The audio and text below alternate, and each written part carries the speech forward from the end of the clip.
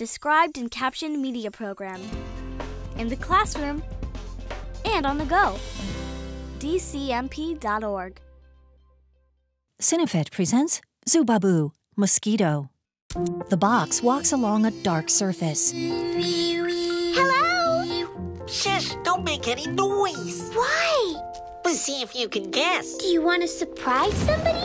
No, more like pester a friend. Oh, the cow? It stands nearby. Are you going to tickle her? Eh, maybe.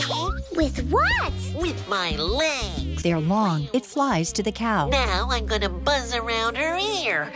The Described and Captioned Media program provides services designed to benefit students who are blind, visually impaired, deaf, hard of hearing, and deaf-blind. These services include a library of free loan described and captioned educational media, a clearinghouse of information related to educational media access, a gateway to internet resources related to accessibility, and a set of guidelines for adding descriptions and captions to media. There are no user registration or service fees. Visit the DCMP at dcmp.org. The DCMP is funded by the U.S. Department of Education and administered by the National Association of the Deaf.